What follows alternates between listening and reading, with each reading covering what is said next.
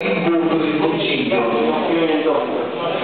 Chiederò il voto del Consiglio. Quindi passiamo, partiamo dall'articolo 35, pareri urgenti. Parliamo di articoli nuovi, di nuovo diciamo conio. In casi motivati di particolare urgenza, il sindaco può chiedere al Presidente del Consiglio Comunale che il parere della Commissione sia reso in termini, in termini abbreviati. In nessun caso il termine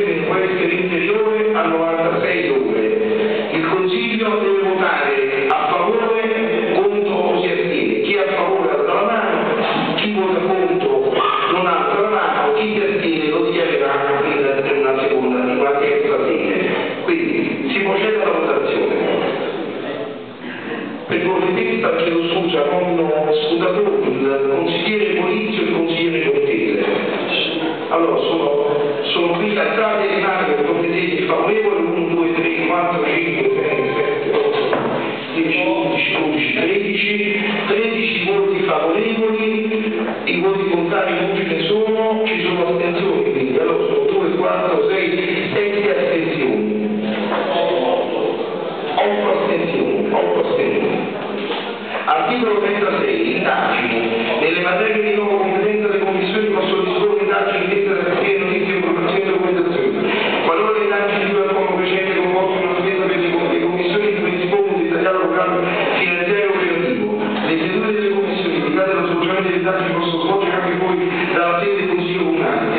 La commissione formula formula le proprie conclusioni e approva un documento. Le minoranze possono chiedere siano messi in votazione i propri documenti che in ogni caso vanno applicati i risultati applicati.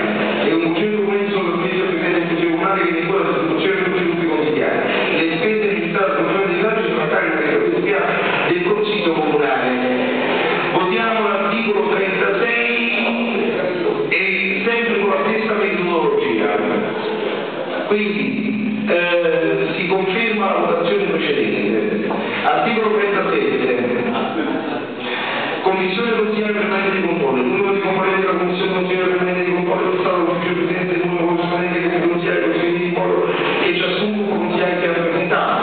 Presidente designato dai componenti di grado e vicepresidente dai componenti di maggioranza. La Commissione consigliere Permanente di Controllo può deliberare su proposta di guida dei propri componenti, lo svolgimento di indagini uscite di controllanti